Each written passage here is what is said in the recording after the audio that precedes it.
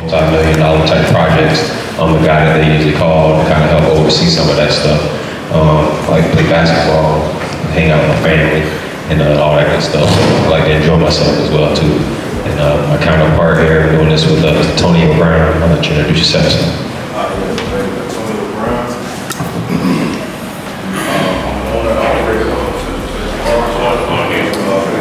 uh, of having an issue with actually with his family, if you say he'll come in when he gets here. though. So other than that, we'll like all the, uh, the panelists to introduce themselves. You can see we got some very distinguished men here.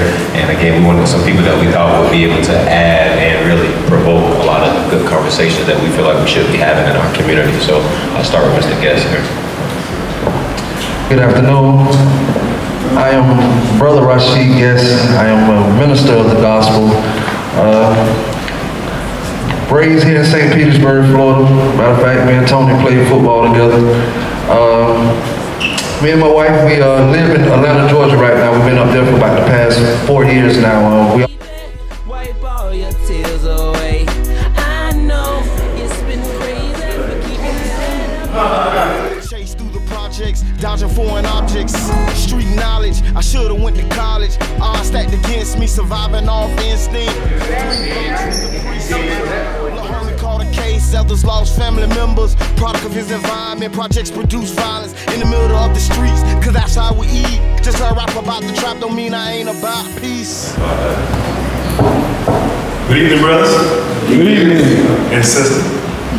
Uh, Dr. Christopher Warren, uh, Director and Founder of Spring Zone St. Pete. Youth and Family Services, Grant Writing Program, uh, Coordination and Management. Uh, Right now, our largest program is where my focus is, and that's you guys.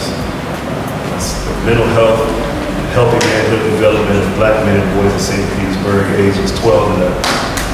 Aside from those programs, I'm also involved in helping families without children that are in the truancy and delinquency courts. Because the legal system can be kind of tricky, especially for a lot of parents who aren't familiar with the language. Uh, Some of the things that they try to do to put barriers of success in the way of a child trying to get back into school or trying to navigate the legal system and still attend school.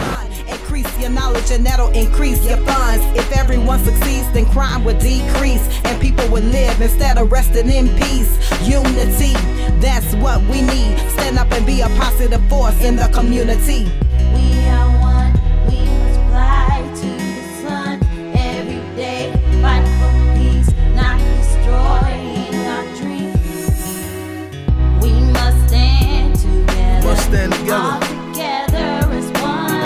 people. United we must United, stand uh, two more times at least. But um, my name is Marcus. I am a poet. I'm a thinker. at least I like to consider myself that. in the same room. That just shows that there's enough brothers in here that are concerned about the future of our community. We have more than enough to get started. So y'all give yourself a round of Racism, racism is our power. Every system within the United States understand that it is infected from top to bottom with racism. Mm-hmm. I also work in an industry out in social services, which is dominated by white men. So of course, many of our early struggles were he's intimidating. His voice is too deep. He's too big. He's scary. But what I found was you don't want to know. So my thing, what I like to contribute to the big picture is uh, just get the information out to the Fair, honest information. So Steve's uncle, and this is my brother Richard Guest.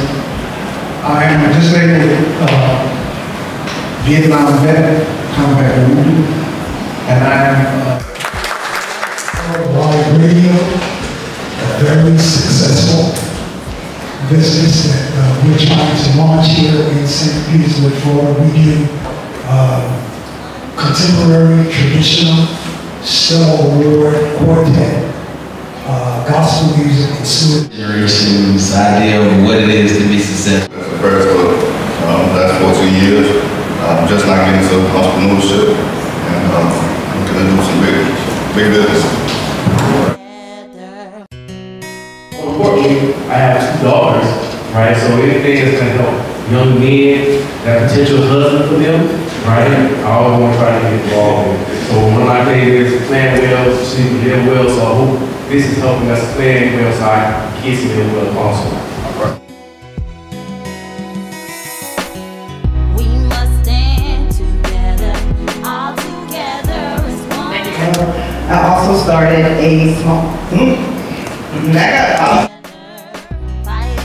I, I picked some of these, so it's kind of a little biased for me. But um, I feel like we should start with a little bit about racism, right? And not from a negative standpoint, but just more or less, because I know for me, like in the corporate world where I do have a, a business that I run on the side too, but a lot of the incomes I get is from the corporate world. And I work with the good old boys, as they say, right? Where I'm one of the youngest executives in my industry. So in every single meeting that I'm in, not only am I the youngest, I'm the only spot in the room. And coming from South St. Pete, they don't really understand how to, how to really respond to us, right? So my mom, even though we grew up in Bethel Heights, my mom always made me speak proper English.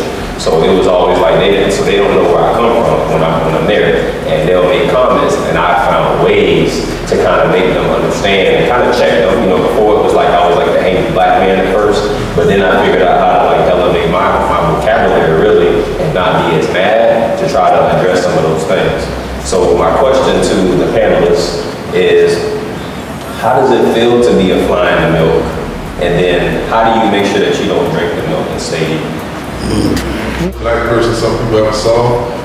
And uh, growing up in Germany, and then uh, by the time I was six years old, we found ourselves in the middle of New Orleans, and now I'm the white boy. So I've experienced it from both ends. But as far as being the uh, spot in the room, you you know, to me, I work with Brother Jabbar, and we're, I mean, I don't want to say it over oversell it, but we have the ability to change the culture.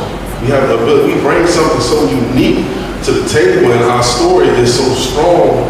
What it took for you to get from Bethel Heights to where you are now is so strong. It should just add to your confidence when people act in ignorance or treat you other than what you deserve. So to me, my past is it, it, it, it, it kind of just enhances my confidence, you know. And how do you remain true to yourself? Uh, we, we got a mission, and just stay focused on that mission. That's that would be my answer to that tough question. too, but I'm in human resources, man. Human resources is mainly white and women at that. So when you are like the only black man in there, there's more attention, there's more scrutiny about anything that you do. You don't smile when you walk in the room. Someone thinks something's wrong with you. And a lot of times what I found myself doing early on in my career, I found myself trying to assimilate to what they thought, try to make them more comfortable with me. But I realized that by doing that, I was not being true to myself, and I was finding myself frustrated. I was finding myself resenting them. Um, uh, take the way he delivered it and focus on what he said and understand that this is what happens when we are not there to talk to our boys. This is what happens. He explained it to you. This is exactly why when you see a young man, you do not ask him to pull up his pants before you ask him his name. This is why you don't tell him to stop smoking before you ask him his situation. This is why before you ask him how he behaved in school, you don't touch him as a human being first. He just gave you the exact thing that you need to do to connect with a young black male right now. So all your self-righteous, we gonna throw Jesus over it. If you ain't doing Jesus, we can't, no. If you won't pull up your pants and have respect, I'm like, no. You have got to get on their level and understand how they are thinking. He broke it down.